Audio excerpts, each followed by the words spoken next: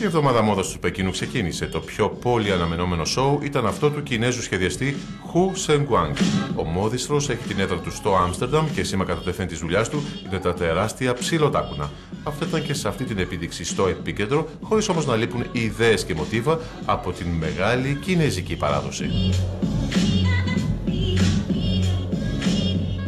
Όλοι ψάχνουν να βρουν τρόπους για να εκλεπτύνουν και να κάνουν πιο σοφιστική την κινέζικη μόδα.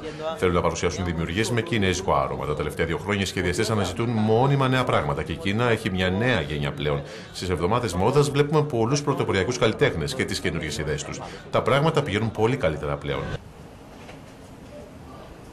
Δεν λείπουν βέβαια και οι γίγαντες του χώρου από την επίδειξη, δηλαδή η Πράντα και η Λουί Βιτών, που αποτελούν το αντικείμενο λατρείας των Κινέζων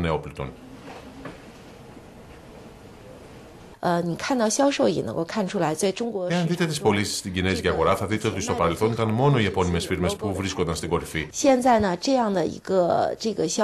Αυτή η κατάσταση σταδιακά μειώνεται πλέον. Όλοι ζητούν φρέσκα πράγματα στη μόδα και ακολουθούν τις πιο δυναμικές τάσεις.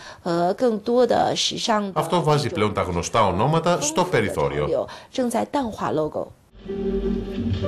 Οι κινέζικες εταιρείες έχουν όμως να διανύσουν ακόμα πολύ δρόμο για να μπορέσουν να ανταγωνιστούν τους μεγάλους οίκους μόδας της Δύσης.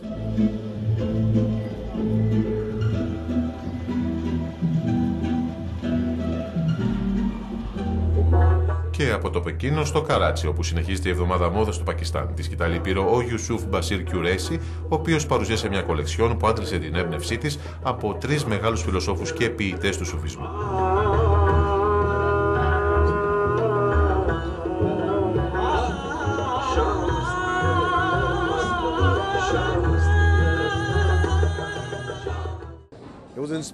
Άντλησα την έμπνευσή μου από τρεις μεγάλους σούφι, τον Σιτ, τον Σα Αμπτούλ Λατίφ Μπιτάι, τον Σα Τσάλ Σαρμάστ και τον Λαλ Σαχμπάζ Γκαλάντερ.